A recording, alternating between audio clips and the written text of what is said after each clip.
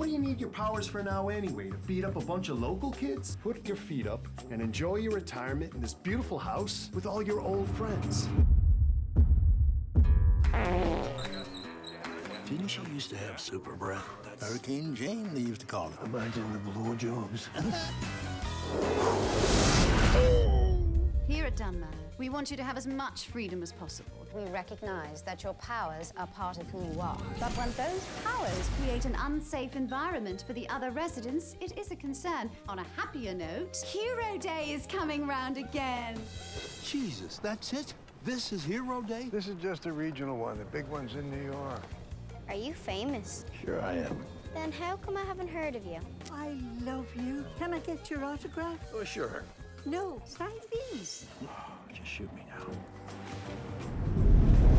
Jerry, how are you, man? I saw something strange in Jerry's room. There's something going on here. This is a simple task designed to gauge your level of control over your ability. Do you have an aspirin? We're on to you. You're not only downwardly managing people's powers, you're absorbing them. Ray and a little pack of cronies have Broken out, so we're bringing the plan forward to tonight. Pure paratonia, death for any superhero. All the world needs is one superhero. It's time to wake up and smell the justice. Now I have all your powers.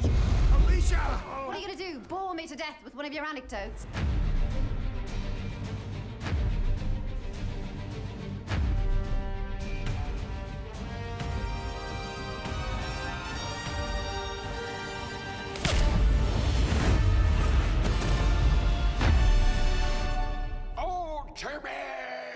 Down, trousers up, Bernard.